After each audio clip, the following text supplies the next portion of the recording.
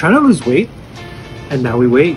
I don't know how they make this chicken so tender, with the cow so low and the flavor so high. Just don't add too much oil to this to your chicken, or else it might spoil your diet.